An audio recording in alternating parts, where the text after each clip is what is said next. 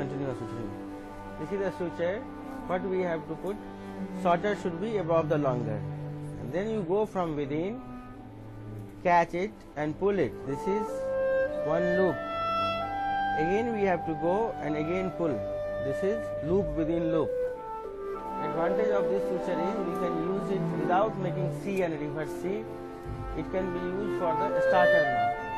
The advantage will be that you don't need, suppose you are suturing the peritoneum after hernia surgery, then it is very difficult to make C and reverse C on the top. This you can use it as a continuous suturing for the starter knot. Now, once it is ready, then you will take it to the Maryland. Don't hold the knot itself. You have to hold the suture and then hide it. Once it is hidden, then we will go inside, catch it and drop it in. Once it is in, same way like we are doing other suturing, you will go.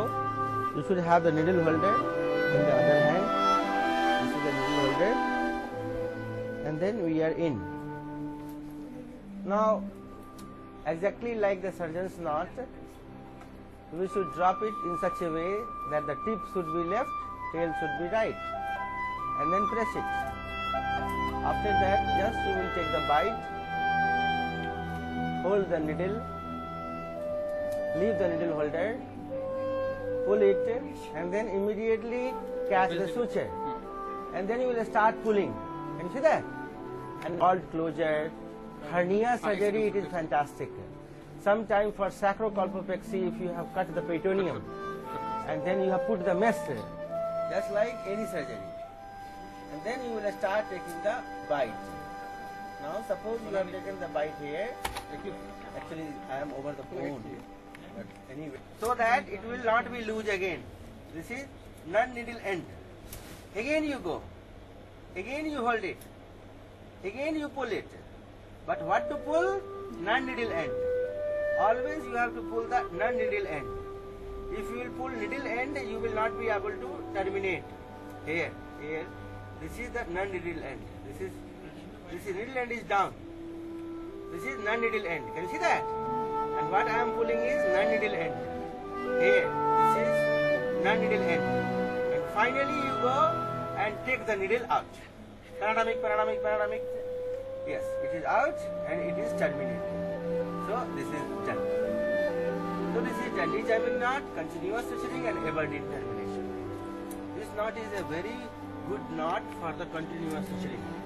Because in the laparoscopic surgery, can I have the scissors? The problem extracorporeal, you cannot use surgeon's knot, you cannot use tumble square knot. Even in open surgery, when you have to close the peritoneum, what you are using? You are using the continuous suturing. So that's why it is a must learn knot. Again, outside I will show you how to do. This is important. You have to take it like this. Then keep the shorter suture above the longer. Go from within, catch it, and here we have the loop. Again you go, again you hold, and this is loop. This is known as a starter knot, popularly known as Dundee jamming knot. Dundee is the university in UK, and Aberdeen also university. So distance between Dundee and Aberdeen is 20 kilometers. So they say that start with the Dundee and terminate with the Aberdeen the suture should be 24 centimeter long and this loop should be 4 centimeter. And this, this going will be 20 feet. This way you can do it. So can you practice now?